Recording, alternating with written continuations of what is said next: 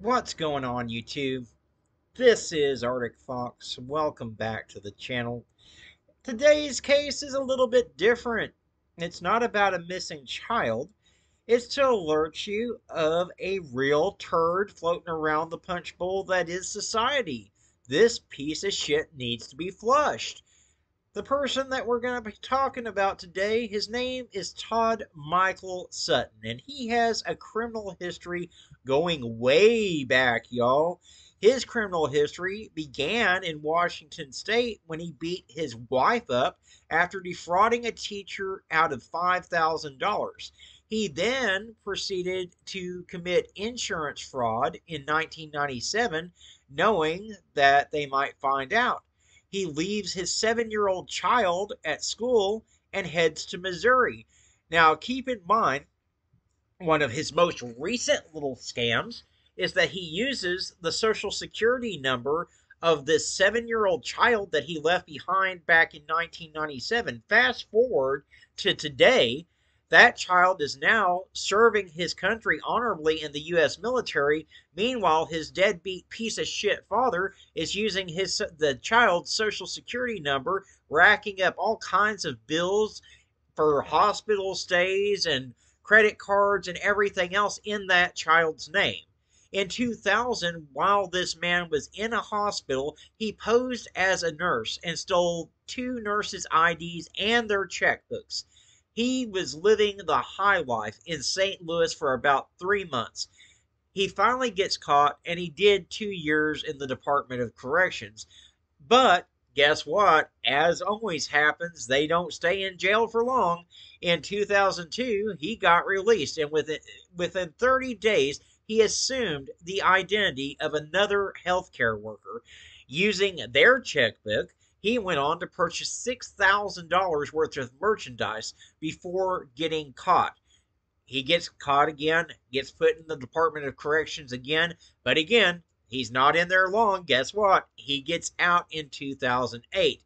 And it doesn't take him long to start his life of crime again. He steals a debit card, and then in 2010, he meets a woman from Autism Speaks and defrauds this charity and this woman out of $22,000. Now, keep in mind, this woman has a child with autism herself. And while on the run, he pulls a scam and he attempts to defraud 20 different charities. Where the long arm of Missouri probation and parole hunted him down again, and he spent his time until 2016. Unfortunately, once again, he was released. And since that time, this man has been in the St. Louis area scamming churches, hospitals, and defrauding women. Just recently, he was found at the Mercy Hospital at 615 South New Ballas Road in St. Louis County. On the third floor, using his child's name that he left behind years ago and he's also been filing taxes under this child. Again, I referenced that at the beginning of the video. He left this child behind in 1997 because he was too fucking big of a pussy to face his own charges and ran off like a little bitch.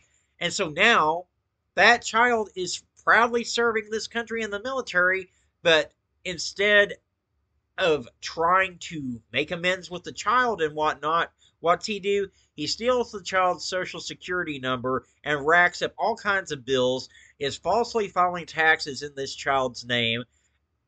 Guys, I, I can't even begin to get into the list of atrocious crimes that this piece of shit has committed. So, here's just a small list of his company names that he has used to defraud others Sutton Contracting, DP Properties, Leaf Protectors, Leaf Gutter Protectors, Todd's Model and Talent Agency, Coffee Cartel, and he tried to have people invest into a Sutton Towers. And there's many, many more, too long a list to name them all off here. His threats among women include financials, bodily harm. He told one lady that he would kill their dog and then make them watch as he cut the head off Todd is known as the homeless CEO of St. Louis, who will fake injuries to get into the hospital and to get out of criminal charges. He's faked heart attacks, cancer. He claims to have a grandson that he opened up the Christopher Foundation for. And while he's been collecting in four separate states stating that this imaginary child has cancer and has died over 200 times, Todd goes to hospitals to beg for money from grieving families and for this imaginary deceased child. And then he steals these families' debit cards. He was kicked out of Granite City, Illinois for impersonating a police officer. Now, guys, we need to bring this piece of shit to justice once and for all. Now, he's currently in St. Louis County and he has committed fraud. He has taken over a person's identity in St. Louis County as well. Now, we're looking for any victims to come forward that have been affected by this piece of shit so we can finally flush him down the proverbial toilet once and for all. Anyone that has been a victim of this man is asked to contact investigator Michael Felis at 314 359 4433. So, guys, do me a favor, help me to bring this turd to justice give the video a like. It does help the algorithm and it helps more people to hear this story. And the more people that see this story, the less victims we will have and the more that will step forward that have already became victims.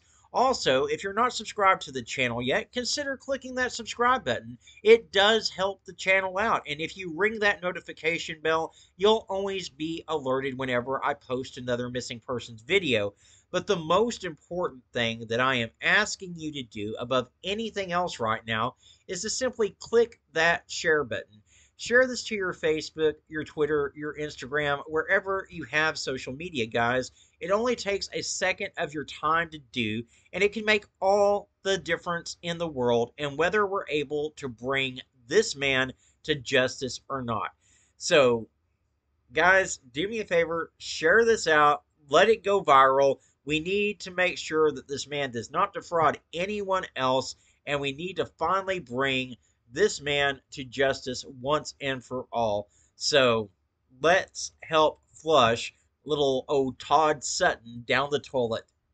As always, thank you so much for watching. I appreciate each and every single one of you. Y'all be kind to one another out there. And I will see you real soon in the next one.